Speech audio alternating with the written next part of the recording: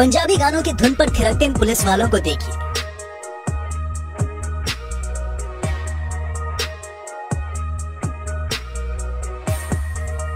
ये डांस देखकर लग रहा है मानो पुलिस वालों को वेतन वृद्धि या लंबी छुट्टी मिली है। पर जरा थम जाइए, क्योंकि ये नाच दरोगा जी के फेयरवेल का है। मामला अमरोहा का है, जहाँ दरोगा जी के रिटायरमेंट पर पुलिस कर्मियों के थाने में लटके झटके देखने को मिला। वीडियो में साफ़ दिख रहा है कि पुलिस वालों के अंदर का माइकल जैक्सन आज ही जाग उठा है। वहीं थाने में फरियादी खड़े रहे और पुलिस वालों के नाच को देखकर मन ही मन में राजू श्रीवास्तव के कॉमेडी का एक डायलॉग सोचते हैं कि हाँ ये कर लो पहले। थाने में उप निरीक्षक ओमकार नाथ सिंह की विदाई का कार्यक्रम था। पार्टी के जश्न में पुलिसकर्मी ऐसे डूब गए कि वो अपनी ड्यूटी ही भूल गए।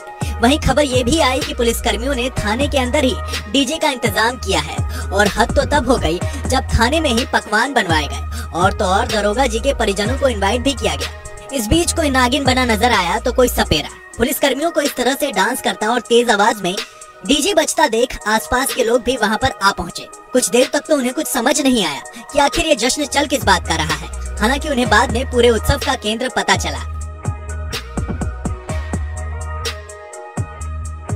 वीडियो में दिख रहा है कि जो पुलिसकर्मी नाच नहीं पा रहा है, उन्हें भी दूसरे पुलिसकर्मी डांस के लिए खींच लाते हैं। वीडियो देखकर तो लगता है मानो पुलिस वाले भूल गए हैं, जो शपथ इन्होंने देश के संविधान और जनता के प्रति ली।